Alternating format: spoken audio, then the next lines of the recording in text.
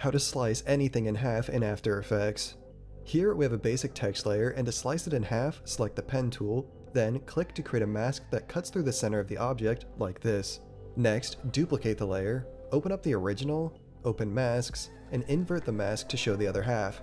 Now we have both halves of our sliced object and we can manipulate them separately. To add some depth to your sliced layer, select the top half, go to Effect, Perspective, Drop Shadow, set the opacity to 100%, angle the shadow in the direction of your slice like this, set the softness to around 200, and increase the distance until you see the shadow on the bottom half. Now you know how to slice anything in half in After Effects. If you're looking to save time and produce awesome work right here in After Effects and Premiere Pro, check out our links below to get access to our Motion Duck extension which contains thousands of editable templates that are easy to update and ready to go for any commercial client and personal project within seconds.